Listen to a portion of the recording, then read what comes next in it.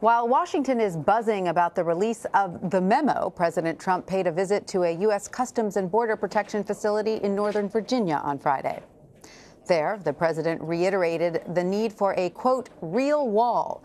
He singled out El Salvador, Guatemala, and Mexico for not blocking the flow of illegal drugs into the U.S. He also called on Democrats to make a deal regarding DACA. CBSN political contributor and political reporter for The Guardian, Sabrina Siddiqui, is in Washington and joins me now. Hi, Sabrina.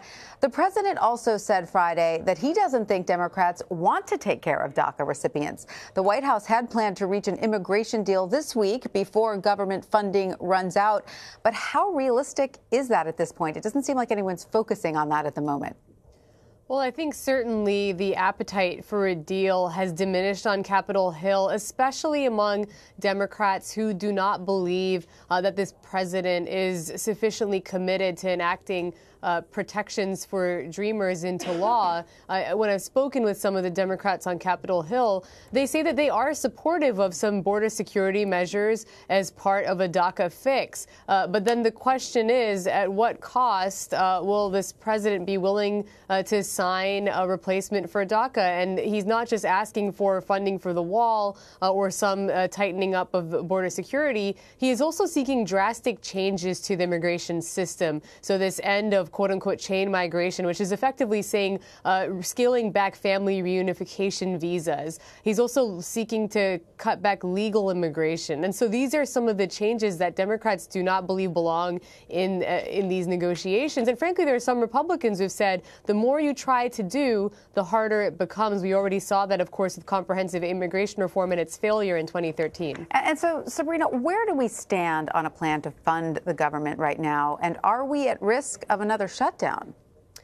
Certainly, it, it, seems all the more likely when you look at uh, just how little communication there is uh, between the two parties in Washington. Of course, you've had uh, now uh, more uh, news around the investigation into Russia distracting uh, from talks to fund the government uh, on this new deadline that they established um, of February 8th. And so the question is really whether or not Democrats are again going to come forth and say, we won't support any spending bill that does not include protections for dreamers. And would they have the vote? Votes to hold the line like they did uh, just a few weeks ago.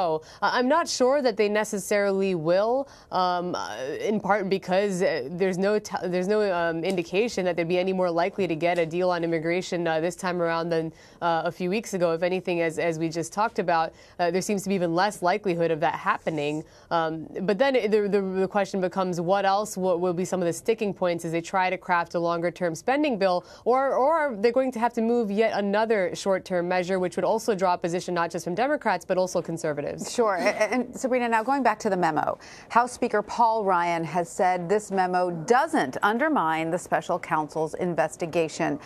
But don't all roads lead to Robert Mueller when it comes to Russian election meddling?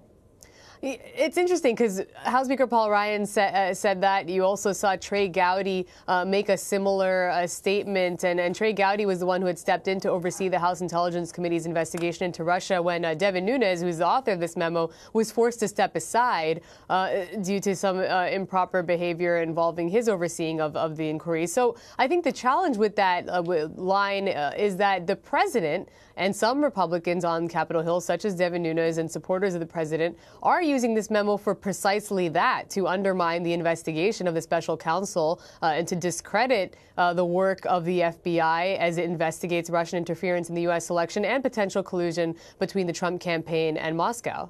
But of course, Democrats say the memo cherry picked information to benefit the president. What is not included in this memo and is another one in the works? Well, there's a great deal of focus on the dossier authored by former British spy, Christopher Steele. Um, and some of that dossier was, of course, funded by the DNC and Hillary Clinton's campaign. Previously, the firm that, that funded the dossier was retained by a Republican client. But um, the Republican memo makes it seem as though uh, the origin of the surveillance that was approved of uh, Carter Page, then a former Trump campaign advisor, was through the dossier, and that the dossier was really the basis uh, for a lot of the actions that were taken uh, by investigators when it's just a part of the puzzle. There were other, um, there were there was other intelligence that was corroborated uh, by U.S. authorities uh, in terms of the communication between Trump associates in Moscow that also uh, paved the way for the warrant. And frankly, it's interesting because the, the, the, way in which this warrant was obtained is such a big part of this. Uh, they, the warrant was requested uh, in October, a month after Carter Page had already left the Trump campaign. Um, the Trump campaign really tried to distance itself publicly from Carter Page. So now they're kind of turning around and saying, hey, you were spying on one of our own. But certainly at this time, they considered him anything but one of their uh, own. Uh, absolutely. Now, of course, the FBI strongly warned against the release of this memo. Former FBI Director James Comey tweeted its release wrecked the House Intel Committee and destroyed trust with the intelligence community. Going forward, how will this impact future investigations by congressional committees, do you think? Well, I think the biggest challenge here is, the, is that this is a, about a lot more than just uh, the Russia investigation.